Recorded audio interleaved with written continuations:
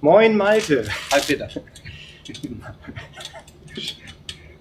Geil. Wasser? Kann ich jetzt endlich ein Bier trinken? Im Paddel, wie sieht es da aus? Irgendwas zu beachten? Kann ich da mein ganz normales Paddel von immer nehmen, wenn ich noch keins habe? Was sollte ich machen? Oder wenn ich jetzt einen speziell für den Fluss suche, was äh, empfiehlst du? Ich mal kurz in die Maske. Ah, Make-up bitte. Äh, ja, nochmal.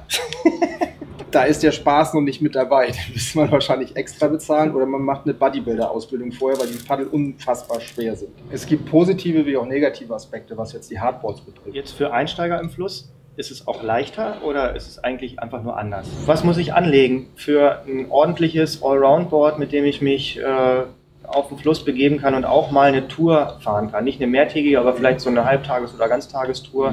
Ich habe viele Gäste gehabt bei mir im Camp, die mit solchen Boards ankamen Ja. und gesagt haben, guck mal, ich habe mir hier ganz toll ein günstiges Board geschossen. Der Spaßfaktor bei, bleibt bei diesen, ich nenne sie mal Billo-Boards, Ja. komplett auf der Strecke.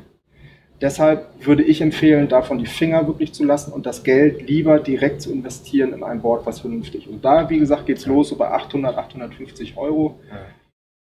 Die richtigen großen Tourer, 12,5 Fuß bis 14 Fuß, die sind natürlich teurer. Ja. Aber man findet schon bei einigen Marken wirklich auch deutlich günstigere unter der 1000 Euro Grenze.